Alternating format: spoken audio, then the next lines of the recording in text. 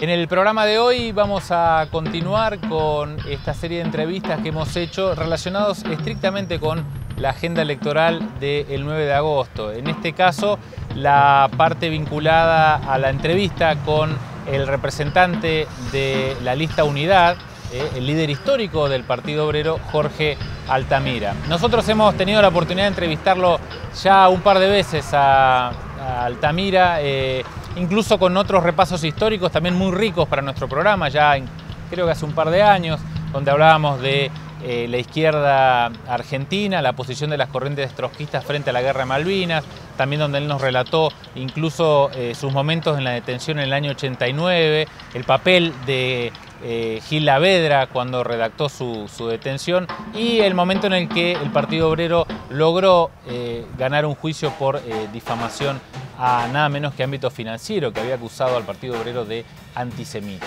Eh, nosotros creíamos también importante en esta oportunidad repasar en la charla con eh, Jorge Altamira detalles que tienen que ver con la interna del Frente de Izquierda de los Trabajadores, pero haciendo un repaso del momento histórico en el que se encuentra el Frente Izquierda y los Trabajadores. ¿no? Este ascenso que han tenido, esta cantidad importantísima de diputados, de concejales, de presencia incluso en intendencias y obviamente esta mirada que empieza a ser, nosotros creemos bastante eh, eh, sincera esta apreciación de amplias masas de eh, trabajadores vinculados histórica o románticamente al pensamiento peronista que empiezan en la conformación de las comisiones internas de base y sobre todo las miradas este, anticlaudicantes hacia el frente de izquierda.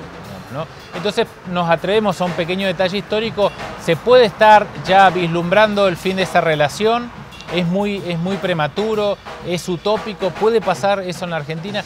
¿Qué sucede el día después del 9 de agosto, sobre todo en el frente de izquierda y los trabajadores?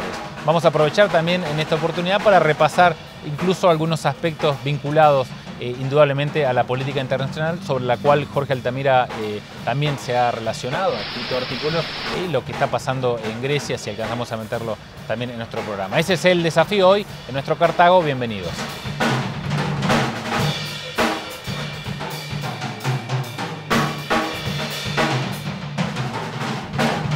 No, de un modo general, eh, el Frente de Izquierda atraviesa una serie de contradicciones que tienen que ver, digamos, con dos posturas frente al desarrollo del Frente de Izquierda.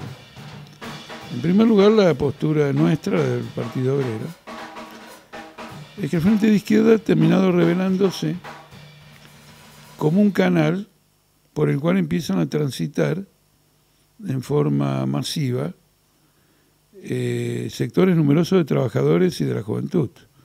Me refiero a la juventud trabajadora, me refiero a la juventud estudiantil. Esto pocas veces ocurre en la historia. Porque cuando empieza a ocurrir es porque hay un giro en la historia de la sociedad que, en la que ocurren estas cosas. La izquierda hace un planteamiento pero ese planteamiento y la actividad de ese planteamiento es tomada por un sector del pueblo. Y cuando es tomada por el sector del pueblo, el sector del pueblo la desarrolla y empieza a vivir una nueva experiencia. Porque la experiencia última que los trabajadores argentinos han tenido ha sido con el peronismo. ¿Qué significa que empiecen a transitar otra experiencia? Cualquiera que viva en Argentina, que conozca la historia de Argentina, sabe que es un fenómeno trascendental. Si esta experiencia culmina, tendríamos a la izquierda encabezando un movimiento histórico eh, completamente nuevo, que habría terminado con la tentativa del peronismo y la tentativa de muchos sectores. No, ese movimiento cobra su empuje en el 45, detrás de postulados que a la larga son inviables, como la conciliación del capital y el trabajo, como la pretensión de que el viejo Estado del país puede llevar adelante una política emancipadora. Y eso va a entrar en una serie de crisis. Obrero dice que hay que desconocer la deuda externa usuraria, que Richard Handley y el Citibank vayan a laburar. Catalina Guanini, diputado en la capital. Jorge Altamira, diputado en la provincia. Vote Partido Obrero, lista 14 en todo el país. En los momentos culminantes, Perón, ¿cómo actúa? Actúa como alguien que dándose cuenta de que ese potencial es amenazante para la sociedad capitalista, él mismo lo abandona, porque él podía haber peleado el 16 de septiembre del 55 haciendo una movilización, digamos, revolucionaria. Y además cuando vuelve, preocupado él y preocupado los militares por una situación muy enérgica que se desarrollaba en la Argentina desde el Cordobazo, él vuelve con la intención de ponerle un freno a eso. Y en la política de poner un freno a eso, se llega al extremo de fundar la AAA. La AAA va, a pavimentar, el camino de la dictadura militar. Entonces, como ustedes ven, estas son las contradicciones de un movimiento que pretende colocar a los trabajadores al servicio de políticas extrañas a los trabajadores, como es la política de la clase capitalista nativa, eh, y que en los mejores momentos lo hace dando algunas concesiones y cuando la balanza económica concluye, de las concesiones se pasa a la autoridad, se pasa al conflicto. Ese proceso se agotó hace mucho, pero la superación de ese proceso ha llevado mucho tiempo. Pienso que desde el Cordobazo, desde las tentativas eh, pasadas que fueron aplastadas a sangre y fuego. No me refiero a la lucha armada, me refiero a la acción de los movimientos obreros y populares de aquella época. Bueno, esta es nuestra concepción del camino que abre el Frente de Izquierda y luego ver en qué culmina y qué características tiene. Hay una visión más restringida, que es cómo aprovechamos el Frente de Izquierda para este, desarrollar el propio grupo. ¿Está claro? Lo que nosotros llamamos la autoproclamación. ¿eh? El Frente de Izquierda no sería un movimiento de conjunto al cual deberían subordinarse intereses particulares, sino que los intereses particulares tienen una gran oportunidad de sacar tajada de este avance. No sé si me explico. Hemos tenido debates en ese sentido. Resumido a esto, el Partido Obrero dice que el Frente Izquierda es un frente único y que como tal debe manifestarse en el plano electoral, en acciones comunes, listas, programas, pero también manifestarse en todos los terrenos. Eh, quienes discrepan con esto dicen, no, es un campo en disputa. ¿Eh? Queremos ganar nosotros, dicen nuestros contrincantes, porque esa sería la condición para, este, digamos, la victoria de este proceso. Hay dos enfoques, un enfoque autoproclamatorio ¿eh? un método autoproclamatorio y un método de desarrollar al Frente de Izquierda como conjunto porque ya se ha desarrollado de esa manera. Y de este modo se ha transformado en un canal eh, político muy importante. Bueno, estas divergencias nos llevaron a que los compañeros eh, del PTS hicieran una insistente campaña en favor de las PASO.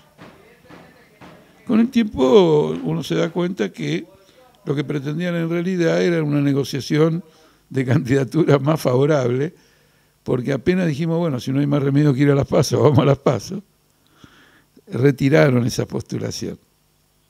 ¿Está claro? Es decir, que nunca fue siquiera eh, un planteamiento consecuente, pero fue este, suficiente para sembrar discordias y, problemas. Las pasos en el Frente de Izquierda están concebidas como un recurso de unidad del Frente de Izquierda. Porque quiero que los que vean el programa sepa que al final vamos en una lista única después de las pasos, confeccionada de la siguiente manera.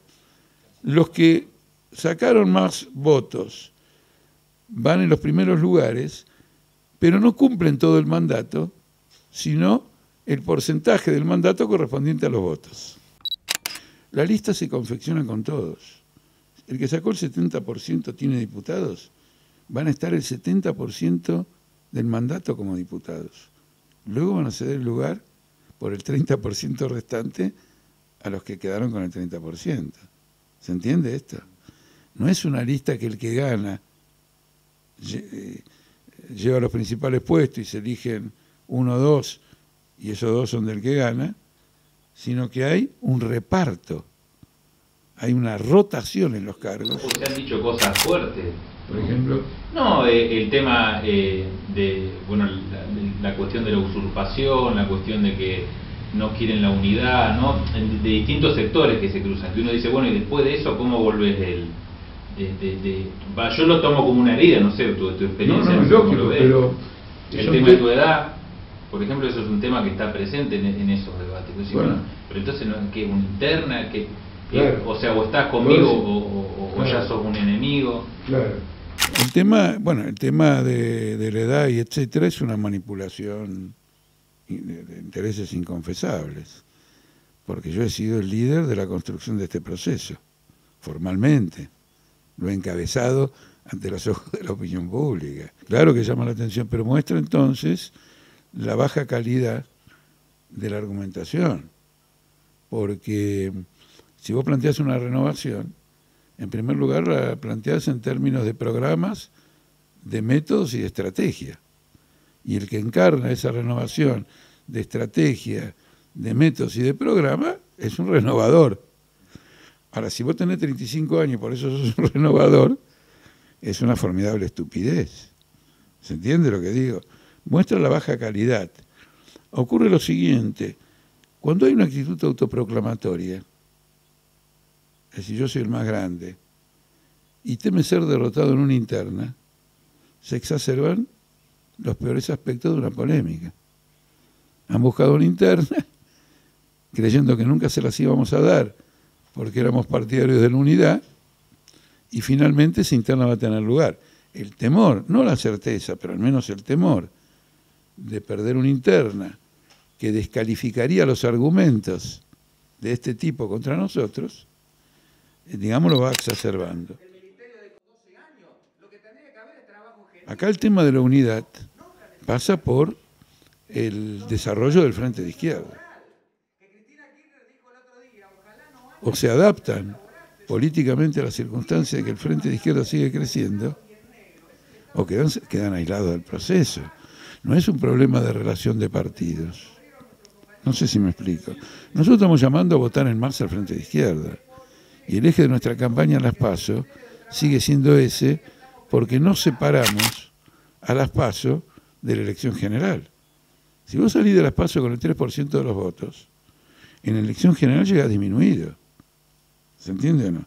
Si vas con el 6% de los votos, diste un gran salto y vas a la elección general con un gran salto.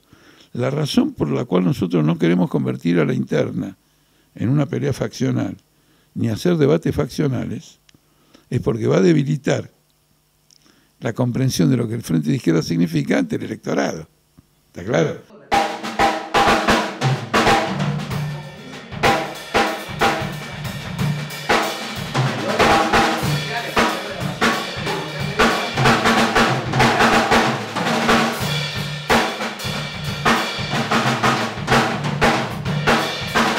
Claro.